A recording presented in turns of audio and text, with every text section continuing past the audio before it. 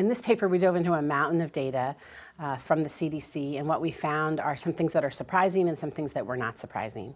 What we found that was a little bit more known is that motor vehicle crash remains and has been the leading cause of death among children and teens in the country. Cancer also is a leading cause of death and is number three. What is more surprising is that firearms are the second leading cause of death among children and have been for some time. This is not a problem just in urban America. This is not a problem just in rural America. This is not a problem just in schools in suburbia. The rates per 100,000 of children dying across those different types of communities in our country is really very similar. This is a problem in all of our communities.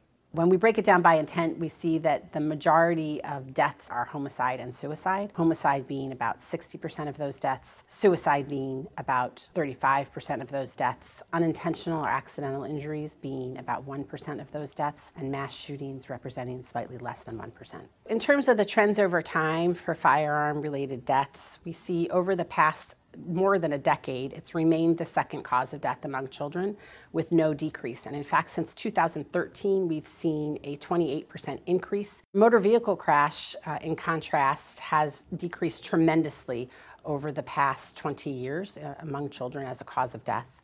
By using a data driven approach, knowing clearly that the data shows that this is the second leading cause of death, uh, certainly has inspired me as a physician to know that we need to be doing better and hope that we'll also encourage other physicians to know that this is indeed uh, their place or their lane to be working in uh, to be preventing firearm related injury and death.